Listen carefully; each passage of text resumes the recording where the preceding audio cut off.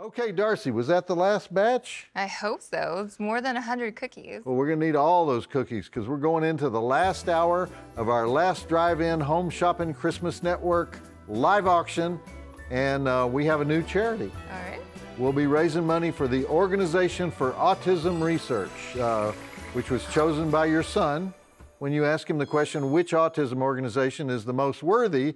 And he said that's because it's the one that does applied research. They not only fund autism research, but they put it into effect as quickly as possible. So, Darcy, All right. give me your best shot. All righty. Well, I have the Halloween 3 mask. All right. What a coincidence. Give me that. This is the hog hat that I was wearing when, when you killed me by showing Hogzilla last season. Hogzilla, Hogzilla, Hogzilla, Hogzilla, Hog. Okay, guys. Both of these will be signed, I guess. You know, are we are we both signing everything or just one of us? Or how does that work? We can sign anything anybody wants us All to. right, I'll sign anything except, except something for Hogzilla.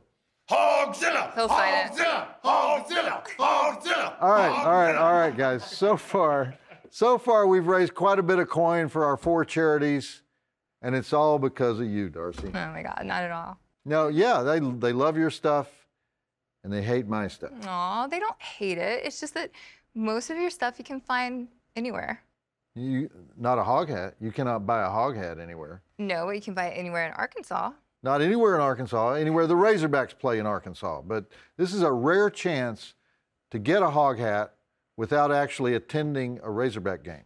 So, I'm sure there are dozens of people who want to take advantage of that. right, just as there are dozens of people waiting to take advantage of a Halloween 3 mask that you can probably buy online for 10 bucks and some uh, Mr. Potato Heads that uh, Wow, covers up your nipples. And, someone's uh, getting feisty. let's get back to the movie.